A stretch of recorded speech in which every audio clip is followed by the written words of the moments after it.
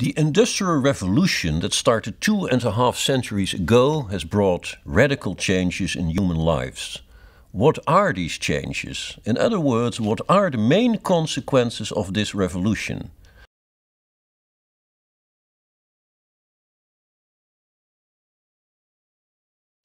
The most direct consequence was an intended one an ongoing growth of labor productivity, that is, of the production per working hour, for example, while an Indian hand spinner in the 18th century needed about 1,000 hours to spin one kilogram of cotton, this was reduced to three hours in 1820 with an advanced steam engine.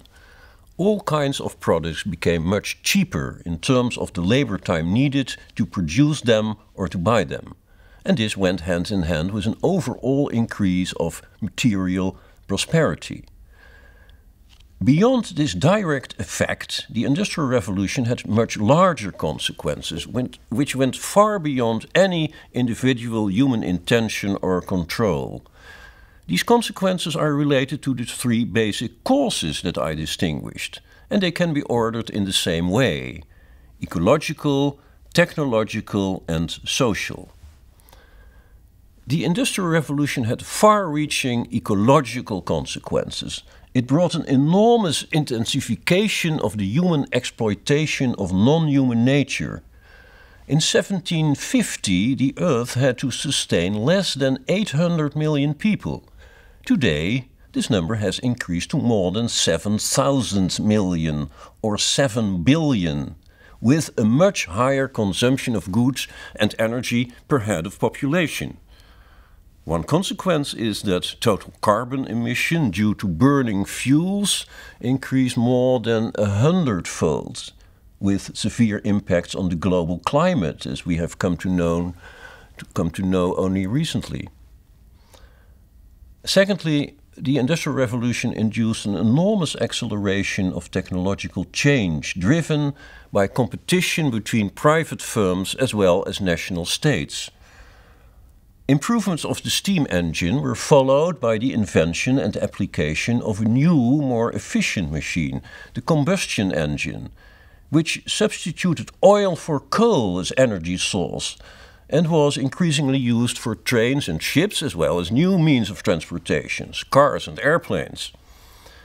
The decades around 1900 also saw the increasing use of electricity with a variety of applications and the emergence of a large-scale chemical industry.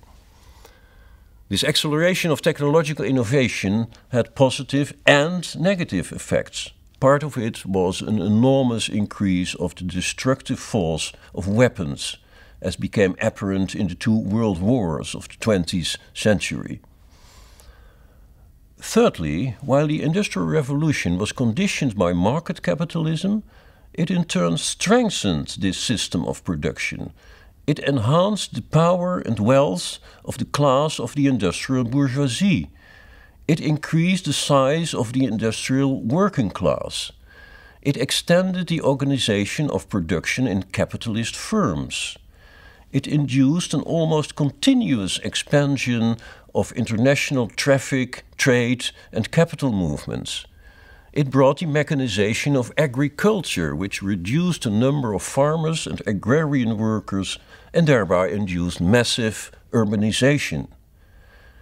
The Industrial Revolution also had important political consequences, as national states took more and more responsibility in creating favorable conditions for industrial growth. They did so, for example, by constructing roads and railroads and harbors, by organizing and financing public education and by regulating working conditions. In Russia, since the revolution of 1917, the state took an even more active role by abolishing private property and directly organizing industrial production through central planning. This alternative communist system seemed quite successful for a while, but Eventually, its productive performances remained far below those of the richer capitalist societies. And in the 1980s, the system collapsed. Today, the capitalist mode of production based on private property and profit orientation is hardly challenged anymore. As I said, the most direct consequence of the Industrial Revolution is a strong increase of labor productivity and a concomitant growth of material prosperity. But what I did not say yet is that this overall rising material prosperity was and still is very unequally distributed. In the first stages of industrialization, material inequality became even larger.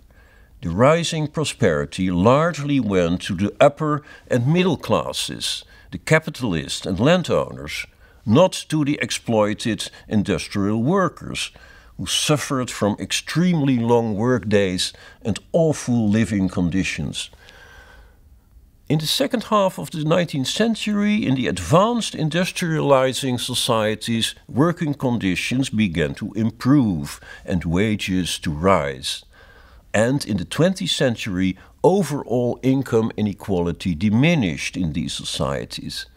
It was particularly in the first three decades after the Second World War that these societies combined high economic growth with decreasing class inequalities.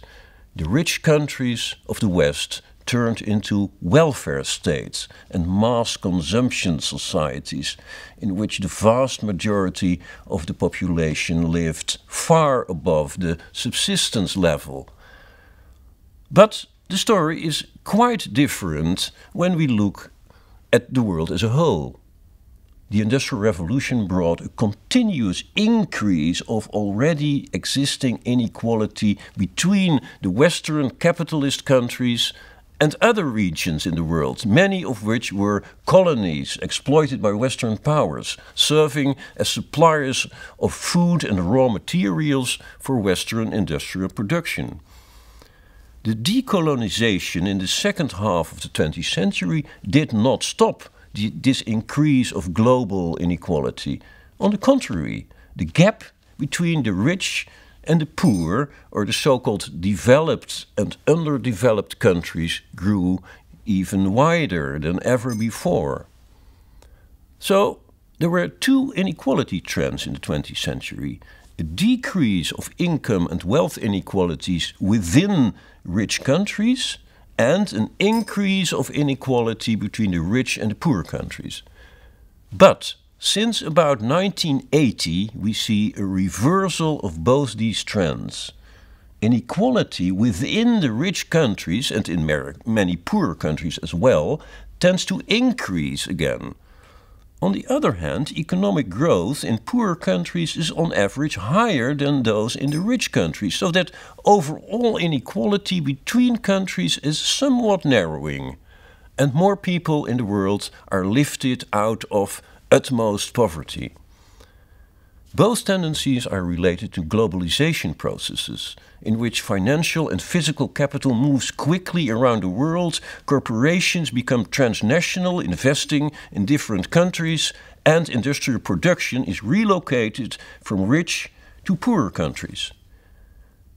Yet, global inequality is still dramatic, and in spite of all technological progress and the rise in production capacity, most people in the world still live near the absolute poverty line of mere subsistence. Throughout human history, humanity has grown in terms of population, power, and production. This long term trend, extending over thousands of years, has accelerated in the past 250 years as a consequence of the Industrial Revolution. It confronts us with new problems. Today, two problems are crucial. How to maintain overall production and consumption levels in the face of the depletion of natural resources, global warming, and the necessary transition from the use of fossil fuels to other sources of energy. And secondly, how to distribute the results of our combined technological capacities in more even, fairer, more balanced way, both on national and international levels, within countries and between countries. These are core questions that we will have to cope with in the decades to come.